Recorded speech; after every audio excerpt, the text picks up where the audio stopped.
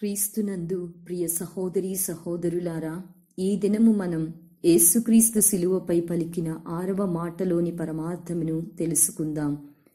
క్రీస్తు ప్రభు శిలువపై పలికిన ఆరవ మాటను యోహాను శువార్త పంతొమ్మిదవ అధ్యాయము ముప్పయో వచనంలో చూస్తున్నాం. ఏసు ఆ చిరకను పుచ్చుకొని అంతయు సమాప్తమైనది అని పలికెను. సాధారణంగా మనం ఏదైనా ఒక పనిని సంపూర్తి చేసిన పిమ్మటనే సమాప్తమైనదని అంటూ ఉంటాం. అయితే యేసుక్రీస్తు శిలువపై ఆరవ మాటగా సమాప్తమైనది అని అనుటకు గల కారణం ఏమిటి? పరలోకపు తండ్రి అప్పగించిన పనులను తనకున్న ఆయుష్ కాలంలోనే సంపూర్ణముగా నెరవేర్చి సమాప్తమైనదని పలుకు సందర్భాన్ని ఈ ఆరవ మాటలో చూస్తున్నాము.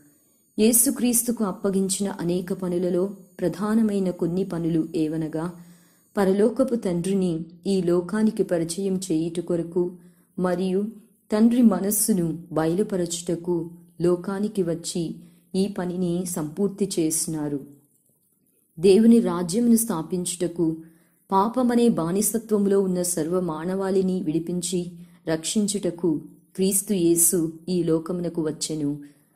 అనేకులకు ప్రతిగా విమోచన క్రయధనముగా తన ప్రాణమును ఇచ్చుటకు వచ్చెను. సర్వలోకానికి సువార్తను ప్రకటించుటకు వచ్చెను.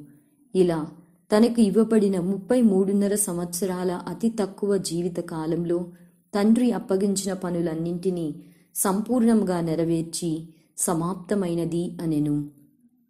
క్రైస్తవునిగా ఈ భూమి మీద బ్రతుకుచున్న మనకు దేవుడు అప్పగించిన పనిని మరచిపోకూడదు. దేవుడు మనకు అప్పగించిన పని ఏదనగా? మనము కూడా యేసుక్రీస్తు వలె సత్క్రియలను చేయుచు దైవరాజ్య వ్యాప్తి కొరకు శ్రమించవలెను. దేవుడు మనకు నిర్ణయించిన ఆయుష్కాలం ముగింపులోపే అప్పగించిన పనులను పూర్తి చేయాలి.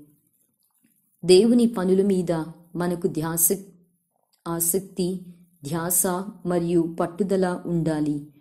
మన సొంత కార్యములలో నిమగ్నమై ఉండుటకు ఇంత గొప్ప రక్షణను ఇచ్చి క్రీస్తు మనలను పిలువలేదు. పునీత పౌలు రోమీలకు రాయబడిన లేఖ పద్నాలుగవ అధ్యాయము పన్నెండవ వచనంలో చూస్తున్నాము. మనలో ప్రతి వారును తనను గురించి దేవునికి లెక్క అప్పగింపవలను.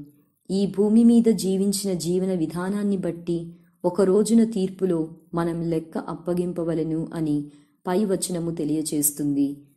ఈ లోకంలో ఉన్నంత వరకు మనం చేయవలసిన పని ఏదనగా మనలను మనం లోక మాలిన్యము నుండి దూరముగా ఉంచుకొని వాక్యానుసారముగా జీవిస్తూ అనేక మందికి వాక్యమును ప్రకటించి వారి విశ్వాసాన్ని బలపరచాలి. కనుక ప్రియ సహోదరి సహోదరులారా క్రీస్తు ప్రభువు వలె మన జీవితాలను అర్థవంతంగా జీవిస్తూ మన బాధ్యతలు సక్రమంగా నెరవేర్చే అనుగ్రహంను దయచేయమని ఆ దేవాది దేవుని ప్రార్థించుదాం.